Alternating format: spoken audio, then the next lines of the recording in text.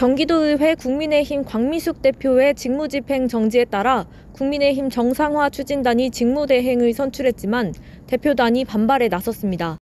국민의힘 정상화 추진단은 16일 오전 의총을 열고 대표의원 직무대행 선출에 나섰습니다. 국힘 의원 78명 중 대표단을 제외한 43명이 투표에 참석했고 과반의 참석에 따라 선거를 치러 총 33표를 얻은 김정호 의원이 직무대행으로 선출됐습니다. 그러나 대표단은 이날 열린 선거를 인정할 수 없다는 입장입니다.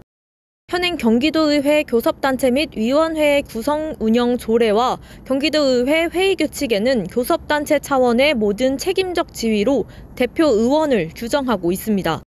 특히 수석 부대표와 부대표에 대한 근거 규정이 없기 때문에 대표 의원의 직무대행 지위는 그 누구도 인정받을 수 없다고 주장하고 있습니다. 대표단은 이날 성명을 내고 현 대표 의원의 직무집행 정지에 따라 현재 그 직무는 김정영 수석 부대표가 대행하고 있기에 한 개의 교섭단체 내에 두 명의 직무대행은 있을 수 없다고 밝혔습니다.